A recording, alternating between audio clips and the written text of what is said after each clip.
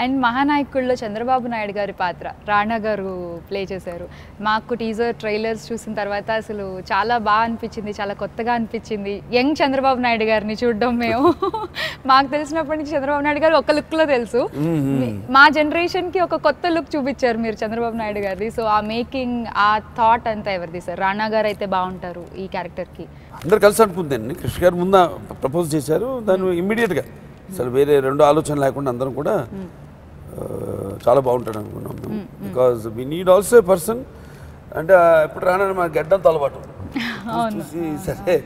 Of course Baahubali అది చేశారని Baahubali was a different concept totally popular and so we need a person of some status or ఏమంటాం మనం image first అది point ఎవరైనా సరే ఒక ఇమేజ్ ఉన్న ఆర్టిస్టే చేయాలి అది.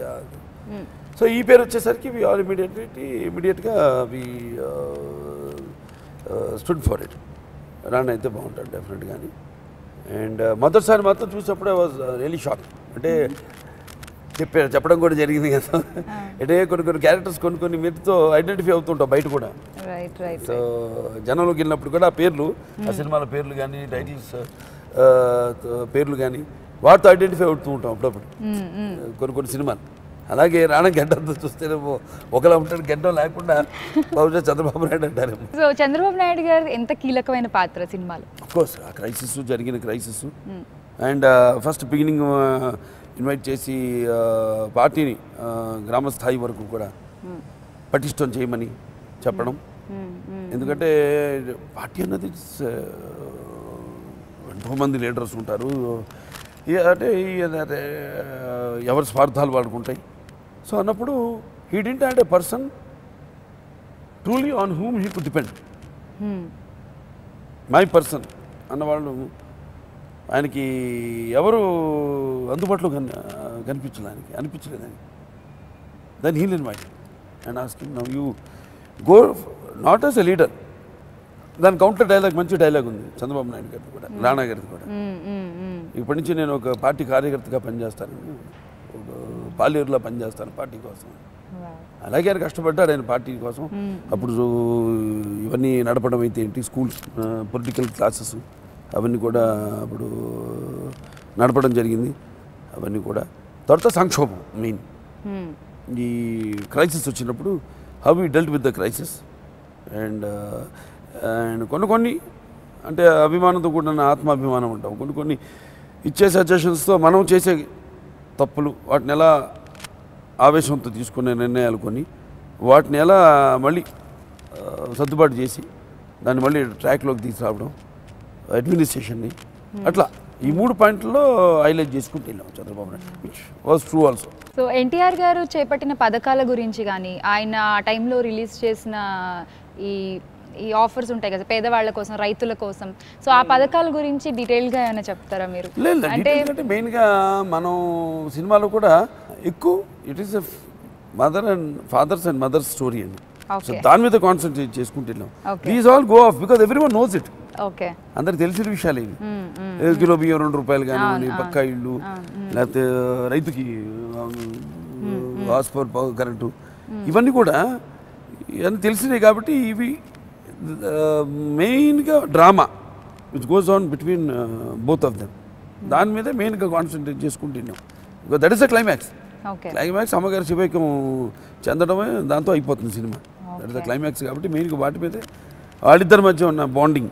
దాని మీదే కాన్సన్ట్రేట్ సో చేసుకుంటూ వెళ్ళడం ఇంత. ఎమోషన్ బేసిస్ మీద ఉన్న చిత్రానికి ఆర్ఆర్లోనే ఎవ్రీ ఎమోషన్ క్రియేట్ చేయగలగాలి మ్యూజిక్ పరంగా. కిరమణి గారు. సో మహానాయకుడులో అంటే మా కథానాయకుల్లో బంటురీతి కొలువు ఎవయ్యరా మా పాట చాలా చాలా అంటే తెలుగు బాగా అర్థమయ్యే వాళ్ళందరికీ కూడా చాలా బాగా కనెక్ట్ అయినటువంటి పాట అది.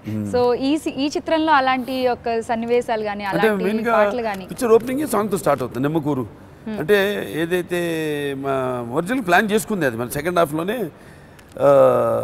సెకండ్ పార్ట్లోనే చూపిద్దామని. ఇది ఆయన అంటే ఆయన్ని జస్ట్ మ్యాటర్ ఆఫ్ ఫ్యాక్ట్ కింద వెళ్ళిపోతాయి. ఫాస్ట్ ఫాస్ట్గా ఎందుకంటే త్వరత డ్రామా చాలా ఉంది. అండ్ మనకు క- కథానాయకుడు చూసుకుంటే it is it was about two and half hours two hours forty minutes it was forty minutes two hours forty minutes cinema. ఇదేమో మాకు సుమారుగా two hours eight minutes eight minutes వచ్చింది ఈ-. పిక్చర్ సో మ్యాక్సిమం దీన్ని ఎందుకంటే దాంట్లో getups అవి బోల్డ్ అంత ఉన్నాయి. ఆయన క్యారెక్టరైజేషను మొదట సబ్ రిజిస్టర్ కానీ జాబ్ వస్తే అక్కడ లంచం ఇవ్వబోతే దానికి వ్యతిరేకంగా ఎలా ఆయన రిజైన్ చేయడం జాబ్ ఇంకొక వారం ఉందే చేసుకుంటే నేను నెల జీతం. వస్తుందంటే. సో ఇవన్నీ ఆయన క్యారెక్టరైజేషన్ చెప్పుకుంటూ రావాల్సి వచ్చింది. సో దాంట్లో మాకు లెంత్ దీని మీద మాకు అంటే వీ టుక్ ఇట్ ఎంత ఉన్నా we have to do true justification to his nature his characterization అని. సో అది టూ అవర్స్ ఫార్టీ మినిట్స్ వెళ్ళింది.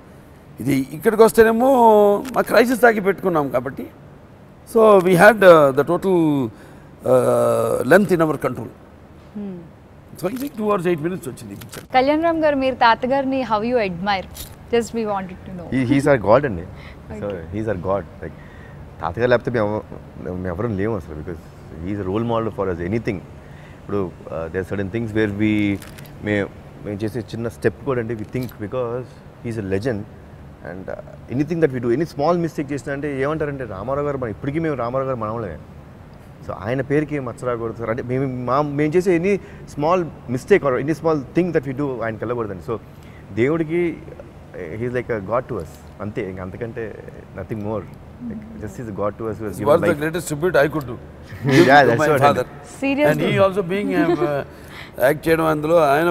తండ్రి పాత్ర కూడా I think he feels tribute to Right, his. Grandfather. Or to his father both Mahanayakudu ఇరవై రేపు release అవబోతోంది.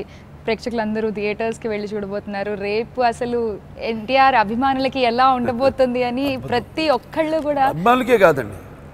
అదే బొట్టి అమ్మాయిలకు కాదు. ఒక అమ్మాయిలకి తెలుగు ప్రజలకి. ప్రేక్షకులకి తెలుగు ప్రేక్షకులకి. ఆయన అనేవాడు కదా ఆయన ఆయన కదా మొదలైంది. నానుడి సమాజమే దేవాలయం ప్రజల దేవుళ్ళు. నేను అందులో ఒక అర్చకుండని. రైట్ సో మొత్తం తెలుగు ప్రజానికానికే తెలుగు జాతికి. సో తెలుగు ప్రజాని ఎక్కడున్నా ప్రపంచంలో అందరికి కూడా ఒక పర్వదినం. సో మరి ఆ తెలుగు ప్రజానికానికి బాలేబాబు గారు ఏం చెప్పాలనుకుంటున్నారు ఫైనల్గా?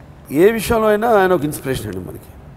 అంటే మనం నాకు ఏంటంటే మనతో స్వాతంత్ర పోరాటం అది ఇది పుస్తకాల్లో చదివేవాళ్ళం.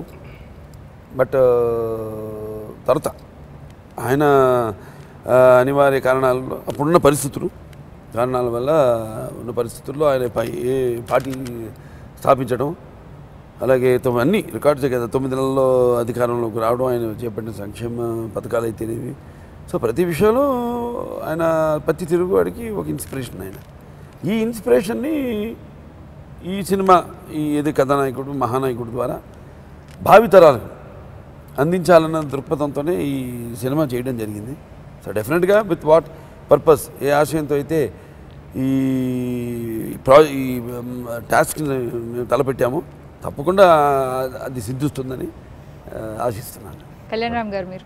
NTR Mahanayakudu is like the journey of the greatest మ్యాన్కు lived in our Telugu మన తెలుగు జాతికి ఒక గ్రేటెస్ట్ మ్యాన్ అండి. సో చూసి డెఫినెట్గా మీరు ఎంజాయ్ చేస్తారని గట్టి నమ్మకం అండి.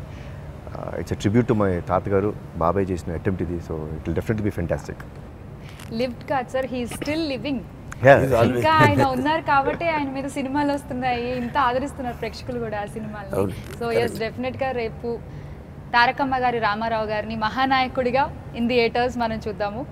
Thank you so much sir thank you welcome thank you